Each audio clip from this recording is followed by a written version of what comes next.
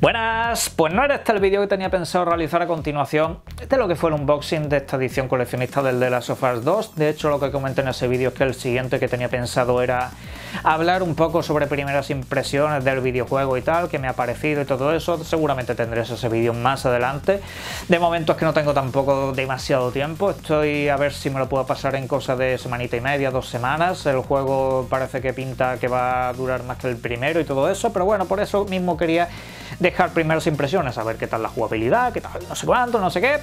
Bueno, en fin, hacer una también especie de comparativa con el arranque del primer juego a este y tal, porque, el primer juego del The Last of Us dejó un arranque que a mucha gente le, le, impactó en su momento. Algunos dicen que para ellos es el mejor arranque de la historia de los videojuegos y todo eso.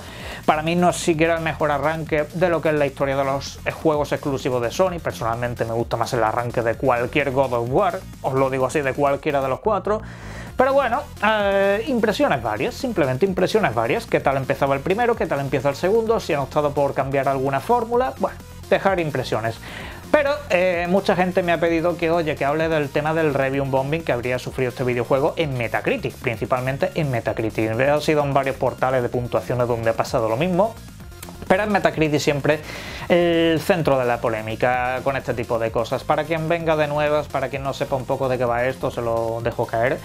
El review bombing es básicamente cuando te publican un videojuego, película, lo que sea, y de entrada cuando ya está disponible, pues eh, te dejan la opción de puntuarlo, ¿de acuerdo? Pues cuando el usuario puede puntuarlo, porque antes ya puede hacerlo la crítica, pues le empiezan a poner notas bajas, un 0, un 1, la nota más baja posible por lo general, y, y acaban bajándole la nota al juego simplemente porque tienen algo en contra, de manera previa, es decir, no es porque al juego no les haya gustado, por lo general la mayoría de esa gente ni lo ha tocado, y es que encima es descarado, porque es que cuando Empieza esto del review bombing, siempre digo lo mismo. Eh, Metacritic está lleno de speedrunners, eh, de, de, esos típicos que se pasan los videojuegos volando, que el día de salida ya tienen el platino hecho.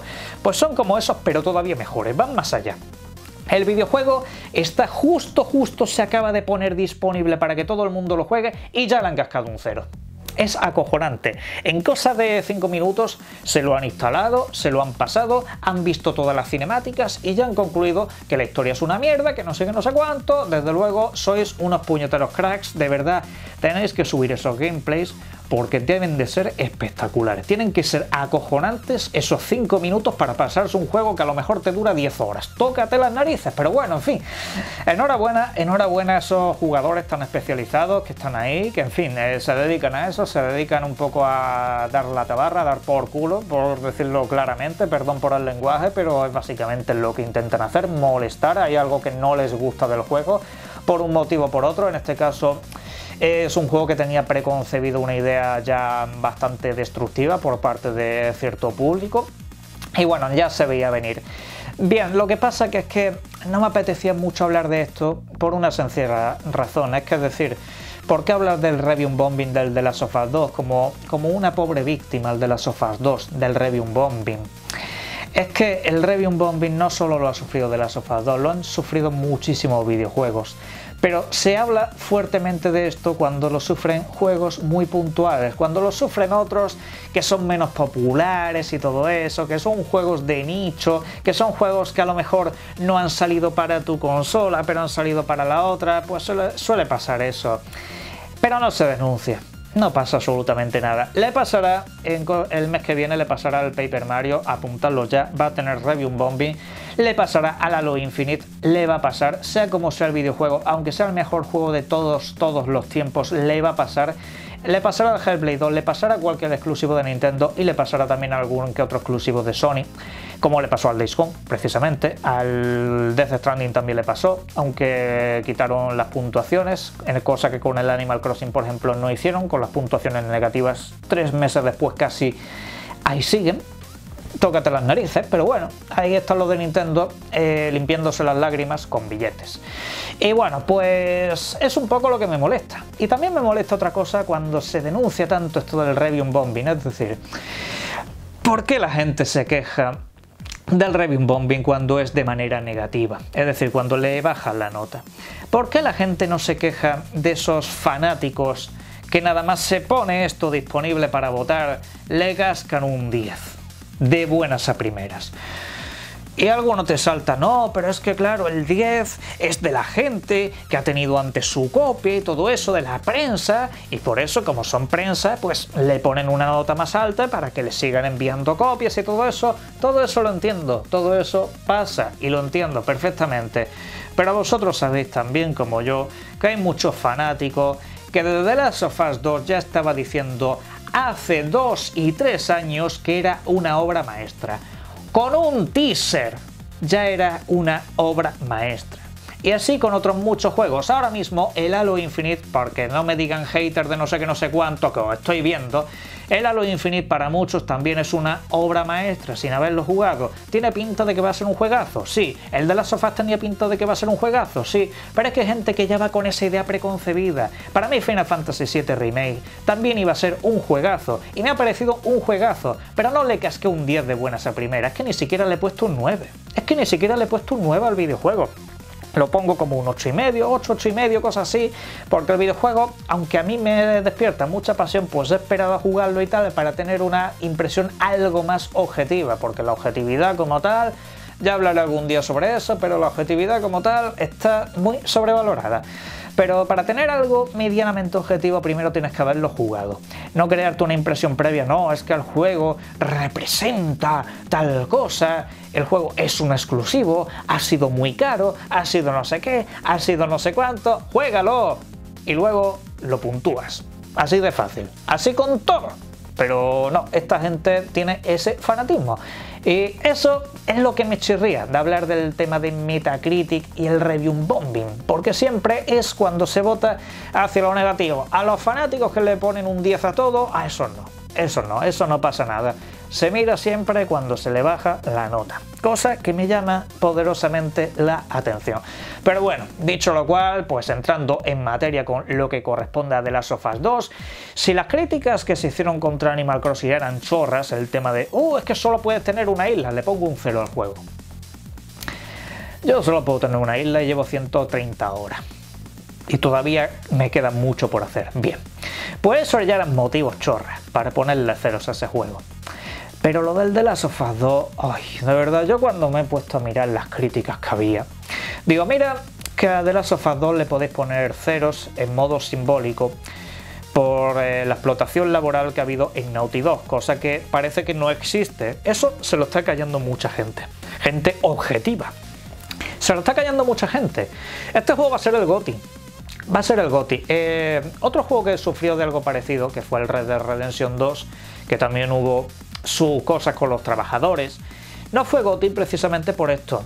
Pero en este caso eso se ha enterrado, se ha cerrado ahí, se ha quedado opacado.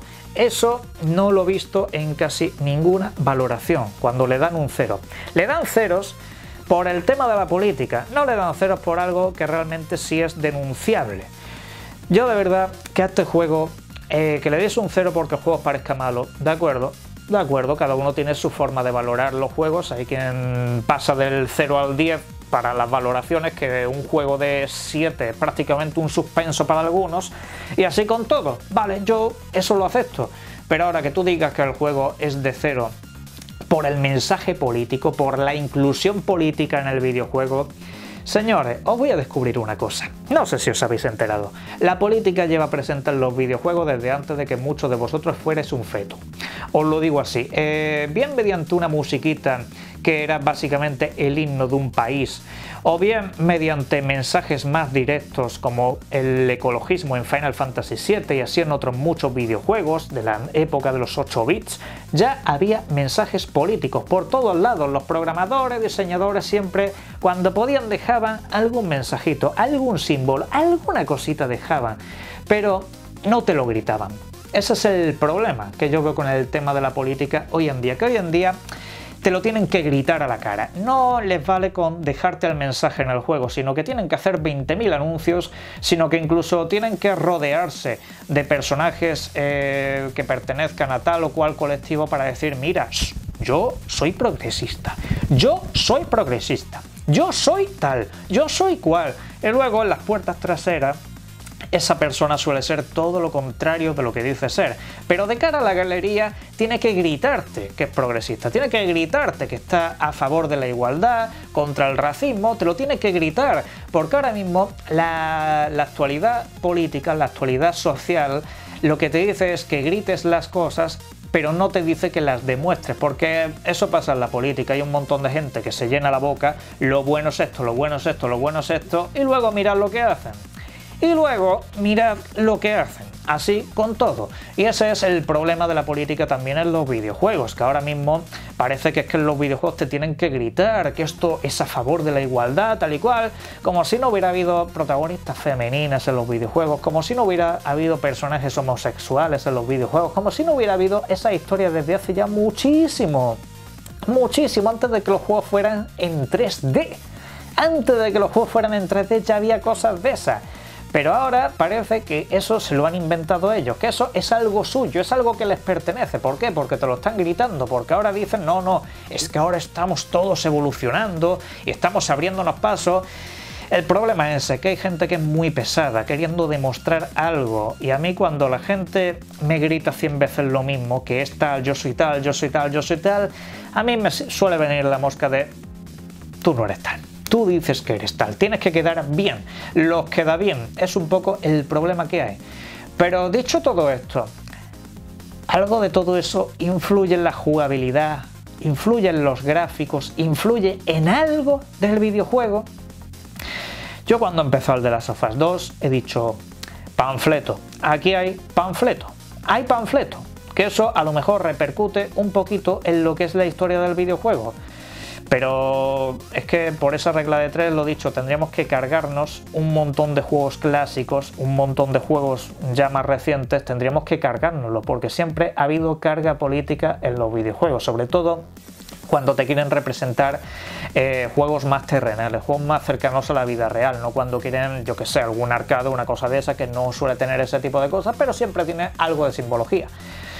Eh, la gente que dice que este juego se carga el primer de las sofás, hombre, es decir, me estáis diciendo que si yo cojo el primer de las sofás que lo tengo aquí, me estáis diciendo que si yo lo cojo y lo pongo ahora en la Play, de repente Joel ha cambiado, de repente los gráficos han cambiado, de repente la historia ha cambiado, de repente el juego es diferente, de repente el juego está roto, se ha desactualizado, va a ir peor, me ha cambiado la historia, ahora Joel es gay, no sé, ¿qué es lo que ha pasado?